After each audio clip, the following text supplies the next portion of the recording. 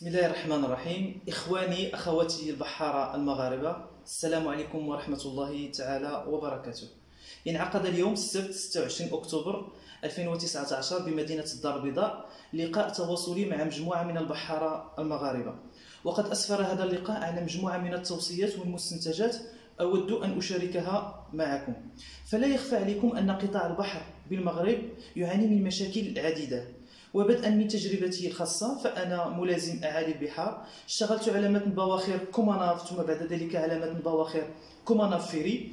ونتيجة لإفلاس شركات الملاحة بالمغرب أتوفر على حكم نهائي لم ينفذ بعد.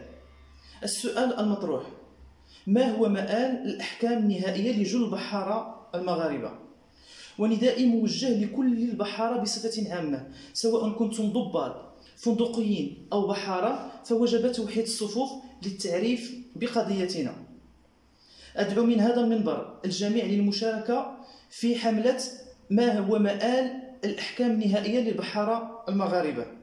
فكل من لديه غيرة على مغربنا الحبيب وكل من لديه غيرة على القطاع البحري المغربي الذي يمتد على طول 3411 كيلومتر بدءا من السعيدية ومرورا بطنجة حتى القويرة فيجب عليه التعريف بقضيتنا وأدعو من هذا المنبر جميع شرائح المجتمع المغربي من جمعيات ونقابات وأحزاب سياسية وشركات خصوصية والمؤسسات العمومية إلى التعريف بقضيتنا.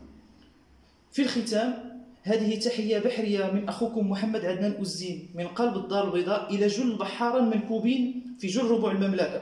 ومن ثم إلى كل بحارة على مثل البواخر سواء في المياه الإقليمية أو الدولية. والسلام عليكم ورحمة الله تعالى وبركاته.